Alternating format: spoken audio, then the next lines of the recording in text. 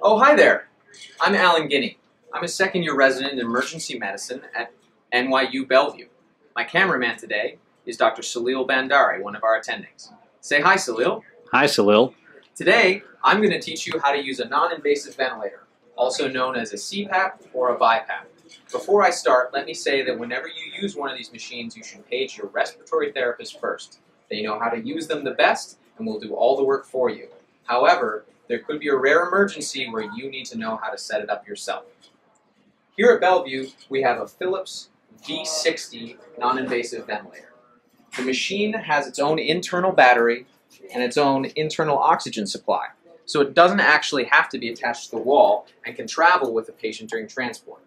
Right now we have it plugged in with a black power cord and this green oxygen delivery cord which is attached to our wall oxygen. The machine comes stocked with tubing and masks. The tubing is actually two tubes attached together. You have a large tube for delivering air to your patient and a small one for measuring the pressure of that air. You can tell the two ends of the tubes apart because one of them has an air filter attached to it. This is the side of the tube you want to attach to the machine. Let's attach the tubing now to these ports to the right of the console. Big to big, small to small. The masks come in sizes from small to large, and the mask bags have helpful cutouts on them that allow you to size the mask to the face of your patient. I'm a medium. The mask is plastic and sits over the patient's face. The mask is attached with this webbing.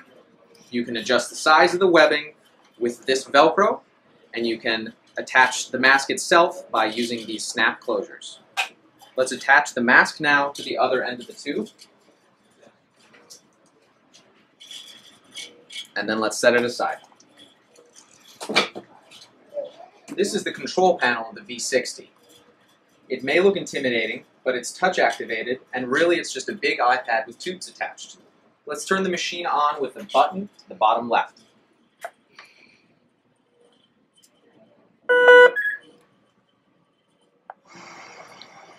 This machine has a number of settings and a number of modes. You can change the modes by using the Modes tab located right here. This machine has both CPAP and BiPAP modes, but you'll notice that there's no button that's actually labeled BiPAP. In the case of our machine, the BiPAP mode is actually labeled S slash T. That stands for spontaneous timed. It's a type of BiPAP mode where the machine can actually deliver a breath even if the patient isn't triggering it. Let's select that mode now by pressing the ST button and then the Activate button. Here in the Settings tab, you can change any of the settings for the mode you've selected. For instance, let's change the IPAP to 6 and click Accept. Let's change the EPAP to 4 and click Accept again. Often, patients have a lot of trouble when you first hook them up to BiPAP because the mask itself is claustrophobic and it's going to be pushing air down into their lungs, which can be very uncomfortable. One way around this is to attach the mask loosely at first and leave it off the patient's face, like an open door. Then, as the patient becomes more comfortable, you can slowly close the door over their face. Finally, you can take the last snap and snap the mask closed. Congratulations! You've just learned how to use a non-invasive ventilator.